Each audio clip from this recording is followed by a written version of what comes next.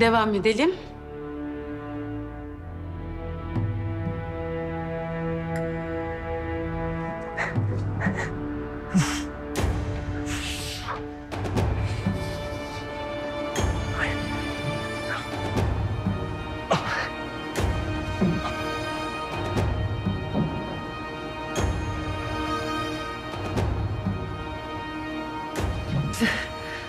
Hadi devam et.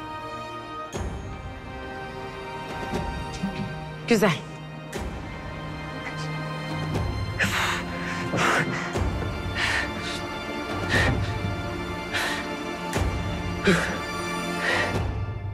Bence çok iyiydi. Çok yoruldum. Bir mola.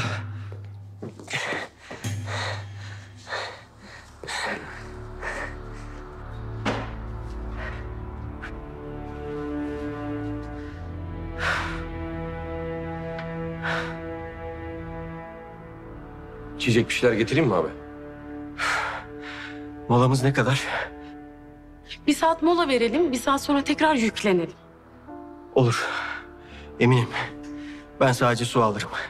Sana zahmet ben de sade bir Türk kahvesi rica edebilir miyim? Hemen.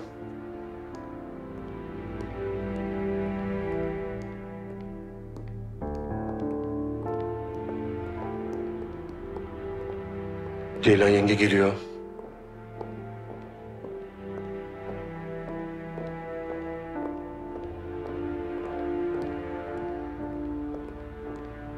Nasıl gidiyor?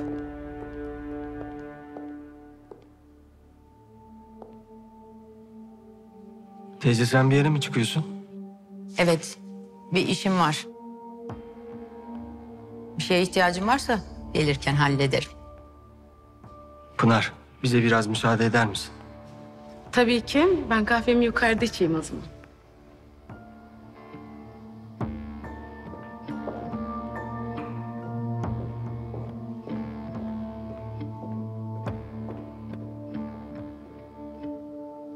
Bir şey mi oldu? Dışarıda ne işin var? Öğrenebilir miyim? Bir de sen mi hesap soracaksın? Hesap sormuyorum. Ya haddim de değil. Ama dün konuşulanlardan sonra bir şey yapıyorsan... ...kötü bir şey yapıyorsun demektir. Kötü bir şey yapmıyorum. Dün amcanlar yarım yamalak bir iş yapmış. Gidip ne olup bittiğini anlamaya çalışacağım. İlla bu İshak denen, Tuncay denen adam bir yere sığındı. Bu işin takibini yapmam lazım. Teyze sen ciddi misin? Dün amcamın söylediklerinden hiçbir şey anlamadın mı? Amcanı hepimiz tanıyoruz. Eser dürler geçer. Teyze. Bak. Amcamın içindeki bir şeyi yıkarsan... ...orayı bir daha toparlayamazsın. Sen toparladın ama seni de kovmuştu evden. Ne yani amacın bu mu? Hızır bensiz başaramaz. Bunun neyini anlamıyorsun? O yanında kimse yokken bile çok şeyi başardı. Ne senin ne benim. Ne de kimsenin yardımına ihtiyacı yok. Destek istediği şey her neyse onu kendisi için istemiyor. Teyze lütfen bunu kendine de ona da yapma. Birkaç şey daha kaldı. Onları da halletmem lazım. Amcan sokakları bilir. Ticareti bilir. Dostluk, düşmanlık bilir. Ama istihbaratları ve devletleri bilmez. Anlamadım sen hangi amcamdan bahsediyorsun? Kocam olandan bahsediyorum. Benden iyi tanıma ihtimalim yok. Teyze. Beni ondan iyi, onu da benden iyi kimse tanıyamaz.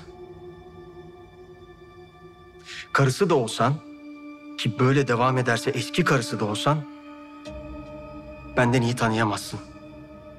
Yapma. Teyze yapma. Amcamı sınama.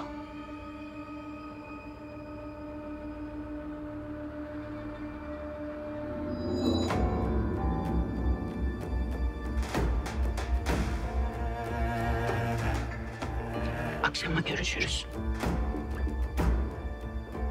Teyze.